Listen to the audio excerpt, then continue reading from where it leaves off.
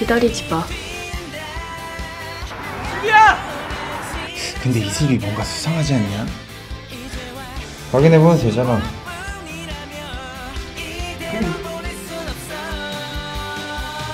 전학 보내주세요.